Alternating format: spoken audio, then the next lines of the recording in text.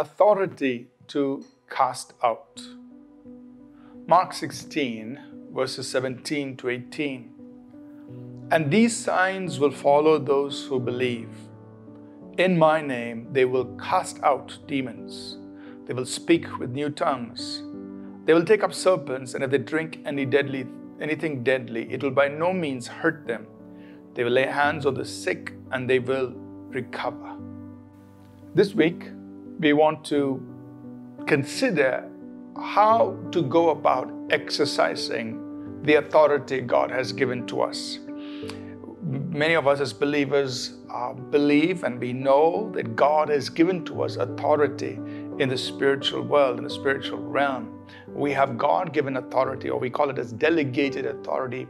He has vested us with, a, with authority.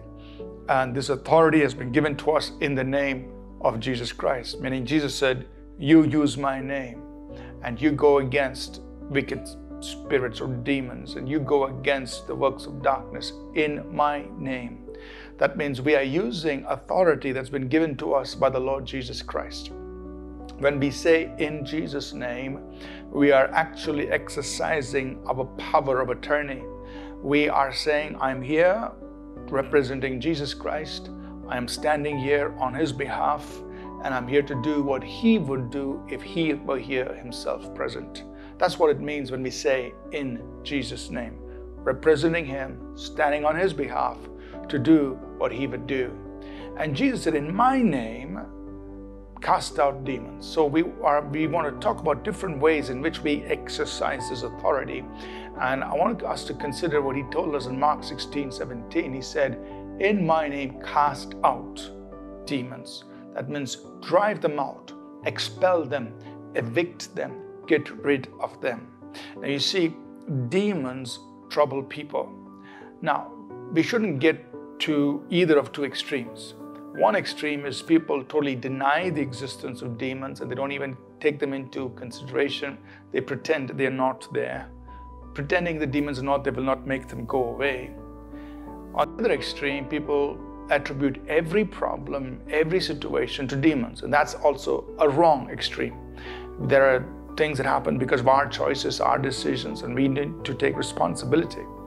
And we need to find a balance where we know our responsibility, but we also recognize when there are demons at work. Demons can cause sickness, disease, trouble the minds, afflict people, bring hindrances in various things. And Jesus says, here's how you deal with demons. You cast out demons, you drive them out, you evict them, you expel them. So we must learn as believers to learn to cast out demons. Notice Jesus says, These signs will follow those who believe. This is for all believers. It's not just for specialized preachers, but for all believers. Every believer can cast out demons. What do you do? You say, In Jesus' name, evil spirits, I command you to leave. I cast you out. And that's how you exercise your authority. In the name of Jesus, you tell that spirit, you tell that demon that you are casting that demon out. You call it by name and you say, In Jesus' name, I cast you out. That's one way of exercising the authority Jesus has given to us. Use it whenever you need to. Let's pray. Lord, even as we consider and learn how to use our authority, I ask for each one listening that we will grow in this, we'll become aware of this, and in our everyday life, in situations at work, in our, in our places of study, or at home, or various situations we face, we will discern where demons are operating, and we will say, In Jesus' name, you demon of fear, I cast you out. In Jesus' name, you demon of oppression, I cast you out. That we will cast out using authority you've given us. Thank you, Father, in Jesus' name. Amen. Thank you for tuning in to Living Supernaturally.